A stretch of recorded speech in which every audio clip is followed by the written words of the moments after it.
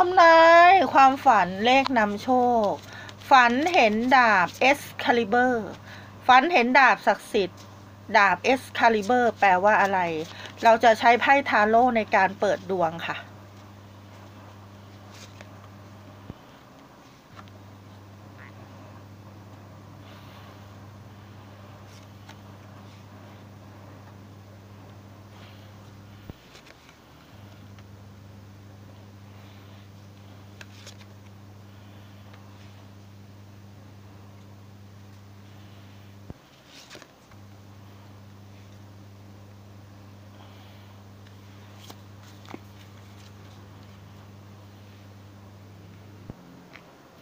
ฝันเห็นดาบ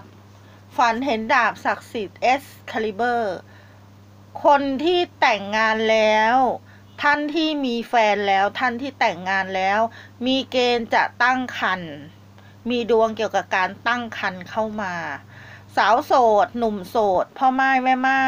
มีเกณฑ์จะได้เจอเนื้อคู่ เป็นคนต่างชาติต่างภาษา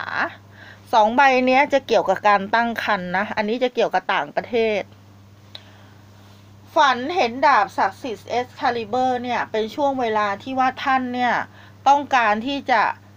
ทำตามความฝันของตัวเอง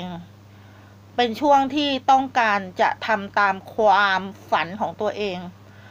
ท่านจะประสบความสำเร็จในงานที่เกี่ยวกับพวก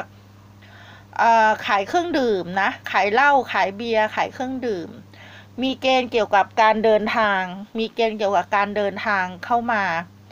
เป็นช่วงที่ชีวิตเนี่ยมีความสุขสงบค่ะไซเลนค่ะ สุขสงบสันติ เลขนำโชคนะคะเจ็ดสามสามเจ็ดเจ็ดสามสามเจ็ดค่ะ ท่านใดที่ต้องการดูดวงเป็นการส่วนตัวแบบมีค่าครูกรุณาแอดไลน์มาค่ะ